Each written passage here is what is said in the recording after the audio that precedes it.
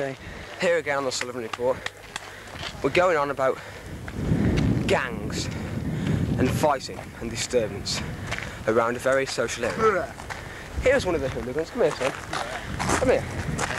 Are you in any sort of gang? Hooligan gang? Yeah, man. What's your gang called? That gang. That's what it's called. That gang. Isn't your gang called the Cornbrook Posse? Yeah, it is, mate. Do you want to be in it?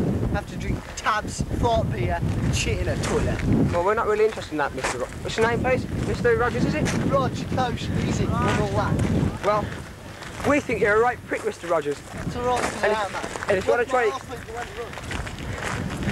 And he and his so-called posse go around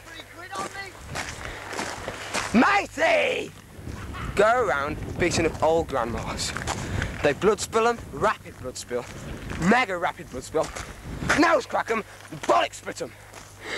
I get pretty annoyed when the bollocks split them because I haven't got any bollocks. But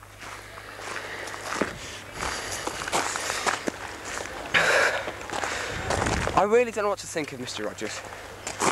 Because he goes round, put it this way, he come up to the cameraman, the other cameraman, other day, and he goes, Oh, you!